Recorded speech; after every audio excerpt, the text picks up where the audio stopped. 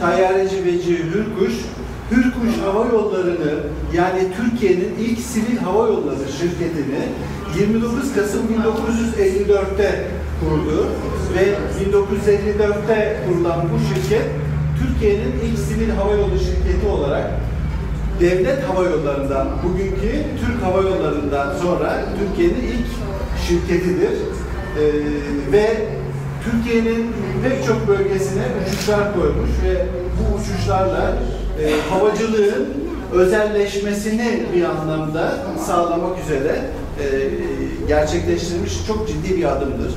Vecihi Bey'in Türkiye'de havacılıkla ilgili ilklerinden bir tanesi de Hürkuş Hava Yolları'nın var olması, kurulmasıdır. Biz Tayyareci Vecihi Hürkuş Müzesi Derneği olarak o gün kurulmayı uygun gördük. Sevgili Gönül Şarman, e, Vecihi Bey'in büyük kızını tanımayan e, dostlarımız için e, ifade etmek imkanımızı kullanalım. Ee, onun da önerisi ve onun da kabulüyle kuruluşumuzu tam bir sene önce bugün gerçekleştirdik. Aradan geçen süre içinde bazı etkinlikler yaptık.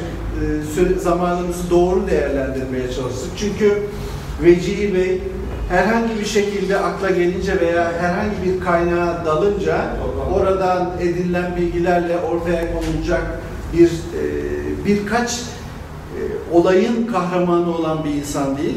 Hayatının her evresi Türk havacılığı için çok önem taşıyan bir takım e, verilerin ortaya konduğu, ilklerin ortaya konduğu, başarıların ortaya konduğu bir yaşam. Bunlardan bir tanesi de Hürkuş Hava Yolları ve biz bugün e, Hürkuş Hava Yolları'nın kuruluşunun 54. yıl dönümünü ve derneğimizin de kuruluşunun birinci yıl dönümünü sizlerle paylaşmaktan büyük mutluluk, büyük sevinç duyuyoruz. Hepiniz hoş geldiniz efendim. Ee,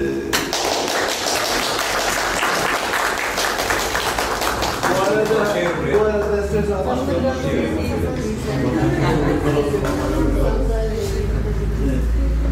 bu arada bir önceki etkinliğimizde Vecihi Bey'in K-14 uçağının Kadıköy'de ilk uçuşunun yani yapıldıktan sonra ilk uçuşunun e, yıl dönümü nedeniyle yapmış olduğumuz etkinlikte e, Gönül Hanım'a Şükrü Halk Eğitim Merkezi'nde yaptığımız çalışmayla ilgili olarak Gönül Hanım'a teşekkürlerimizi, şükranlarımızı tekrar, tekrar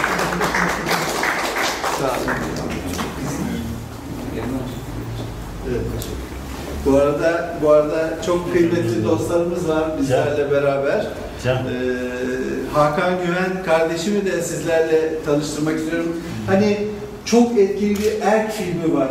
Hani müziğinin seçimiyle, hazırlanışıyla ve çok küçük bir kaynaktan bu kadar büyük bir e, eser ortaya koyan Hakan Güven kardeşime bugün ayrıca bizimle beraber oldukları için çok teşekkür ediyorum.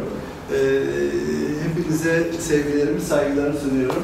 Küçücük tevazu içinde e, artık ikram mı diyelim yoksa bir açlık, atıştırma, e, yatıştırma mı diyelim? Bir küçük ikramımız var. Buyurun efendim. Teşekkür ederim.